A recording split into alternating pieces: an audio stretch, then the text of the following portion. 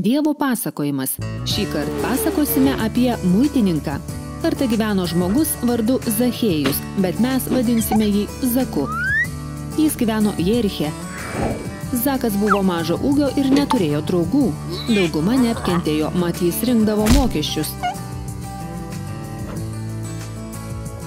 Tais laikais žmonės irgi mokėdavo mokesčius, suneždavo pinigus paskirtiems mokesčių rinkėjams. O šitie vyrukai mėgo sukčiauti, Zakas, kaip ir kiti, lupo žymiai daugiau nei priderėjo, nieko nuostabaus, bet nebuvo labai mėgiamas. Bet vieną gražią dieną Zako mieste apsilankė Jėzus. Zakas panoro jį pamatyti, tačiau tokių norinčių buvo daug. Atsimenat, Zakas buvo žemas, negalėdamas pamatyti Jėzaus, jis įsiropštė į medį. Įsivaizduokit suaugusi žmogų, kuris minios akivaizdoje įsikabaroja į medį. Kiti tikriausiai pagalvojo, kad jis kuoktelėjo. Bet Zakui buvo nemotais, jam svarbiausia buvo pamatyti Jėzų. Iš aukštai Zakas stebėjo, kaip Jėzus prieina prie medžio.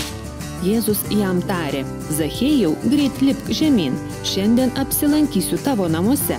Čia lik kokia garsenybė pasisiūlytų ateiti į mūsų namus, tik šimtą kartų geriau. Tas apsilankimas iš esmės pakeitė Zako gyvenimą.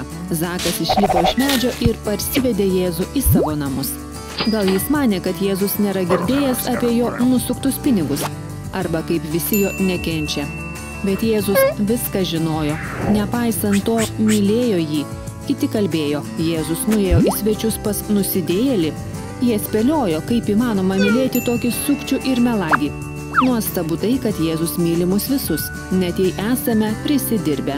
Patyrę, kad Jėzus mus myli tokius, kokie esame, norime keistis ir mylėti aplinkinius. Taip nutiko ir Zakui, jis iškart panoro kompensuoti žalą nuskriaustiesiems. Suprato, kad vien žodinio atsiprašymo nepakanka. Jėzui jis pasakė, pusę savo turto atiduosiu vargšams, o jei ką nors nuskriaudžiau, gražinsiu keturgubai. Kai Jėzus pamatė, kad Zakas rimtai nusprendė atgailaut, pasakė, bičiuli, šiandien Dievas tave išgelbėjo.